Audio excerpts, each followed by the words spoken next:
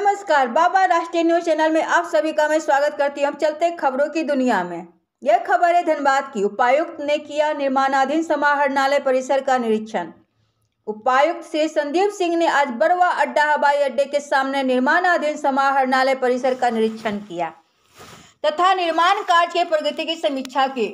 उन्होंने विभिन्न विभागों के लिए निर्मित कमरे अप्रोच रोड सभा कक्ष पार्किंग निकास एवं प्रवेश मार्ग के निर्माण, फायर फाइटिंग सिस्टम सहित सभी प्रकार के सिविल कार्य की प्रगति की समीक्षा कर आवश्यक दिशा निर्देश दिए। निरीक्षण के दौरान उन्होंने कहा कि नए समाहरणालय भवन का निर्माण आम नागरिकों की सहूलियत को केंद्र में रखकर करना महत्वपूर्ण है। संबंधित अभियंता को सामग्रियों की गुणवत्ता का विशेष ध्यान रखने तथा निर्धारित अवधि में कार्य पूरा करने का निर्देश दिया।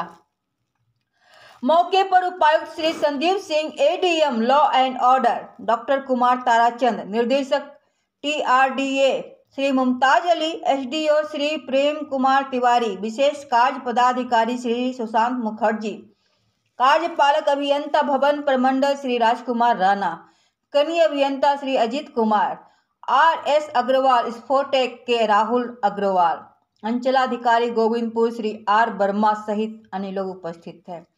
ऐसे ही लगातार खबरों को जानने के लिए आप हमारे बाबा राज चैनल को सब्सक्राइब करें लाइक करें और शेयर करें।